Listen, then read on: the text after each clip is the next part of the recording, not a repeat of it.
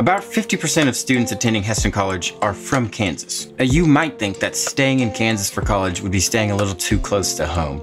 But at the same time, other students might think the 35 minute drive from their house to Hesston is too far away from home. The truth is, Hesston College is as close or as far away as you want it to be.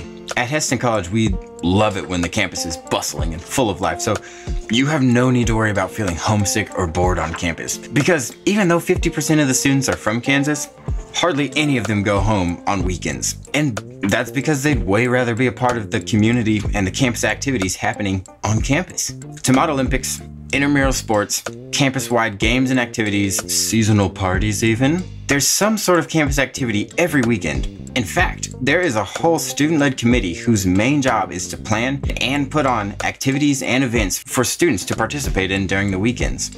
CAB, C A B, CAB, Cam- Campus Activity Board. What does CAB stand for? I'm not actually sure what that stands for. It's probably board.